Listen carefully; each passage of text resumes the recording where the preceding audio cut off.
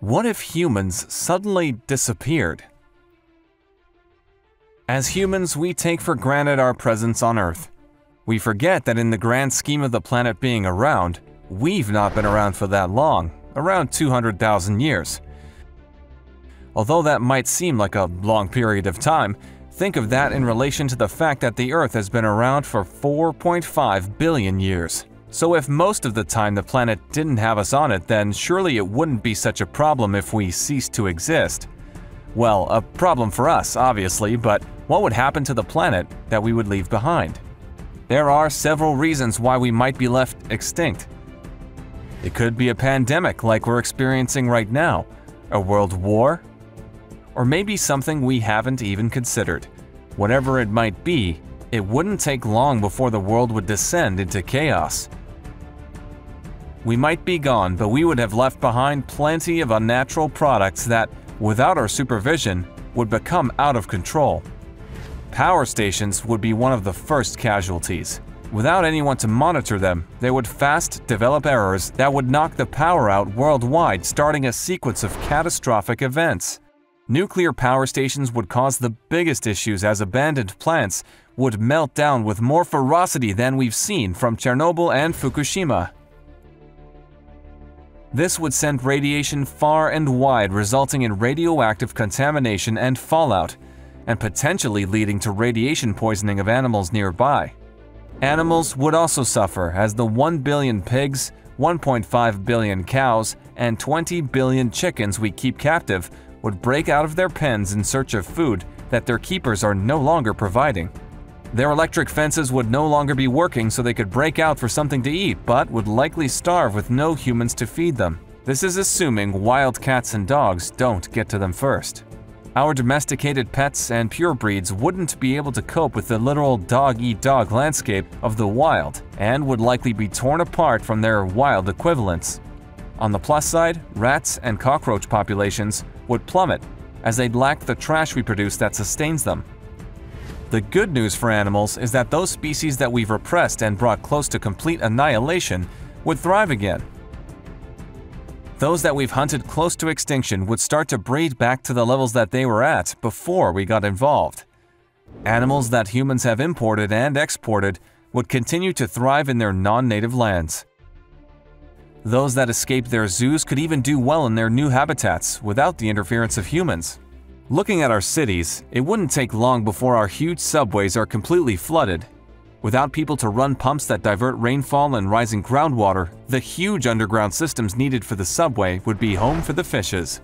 Research has shown this could take only 36 hours for this to happen. Eventually, over the course of a quarter of a century after man's disappearance, 75% of the planet's paved city streets and sidewalks will be covered in vegetation.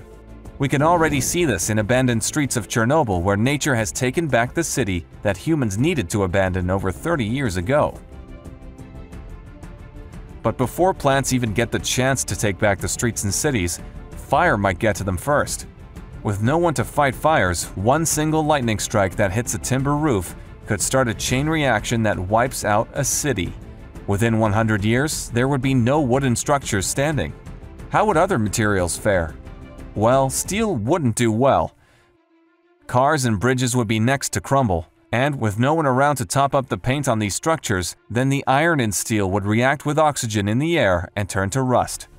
The only steel buildings left standing would be those in the desert with less moisture in the air. They would eventually crumble but would take a lot longer to rust. Other materials that we would have left behind wouldn't be so keen to disappear.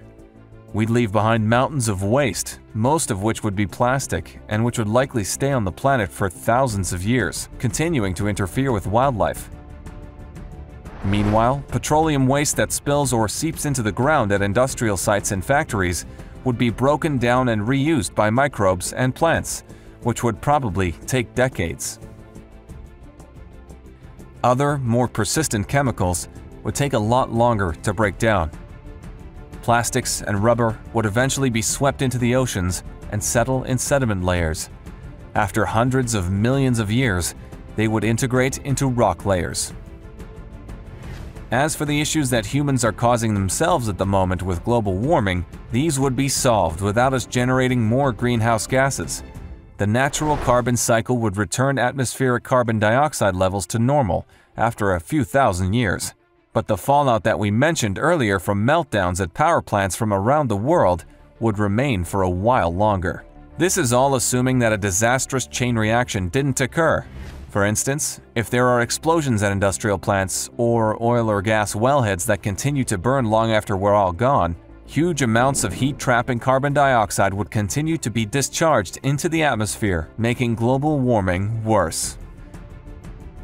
Nature will continue to take over man-made structures, Desert cities like Las Vegas and Dubai would be covered in sand from storms over the years with no one to maintain these, as the desert takes back what belongs to it. Swamps that once covered large parts of the world would also reappear and take back residential areas.